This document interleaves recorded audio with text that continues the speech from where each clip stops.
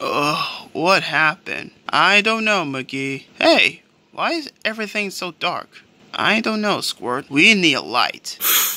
Ugh! Okay, not that light. Oh my god, look who it is! What? Hello, campers.